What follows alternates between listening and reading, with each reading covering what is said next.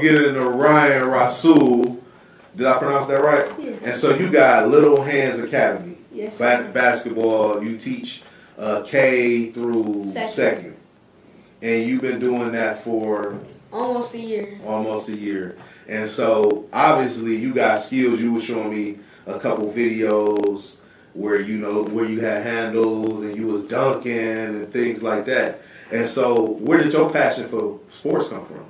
Mostly passed on from my dad. He played ball in college, D1. He was pretty good, and I always wanted to be just like him. Ever Okay. since I was older, I wanted to be just like him. And now I just follow his footsteps, listen. Um, he always tell me just one thing: listen and silent is the same word. So you gotta make sure you listening and getting gifts from God, and listening and being a good player, respect the game. Right. And you love your dad and respect your dad. And so that's why you follow in his footsteps.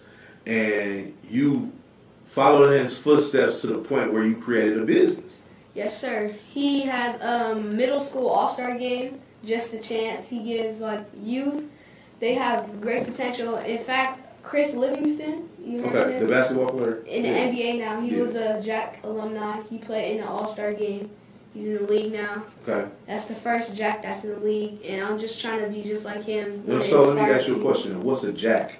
A Jack Jack stands for just a chance. So a Jack alumni will be somebody that a Jack so a Jack boss, that's somebody that empowers that inspires people to be great, not weak. Okay. Okay.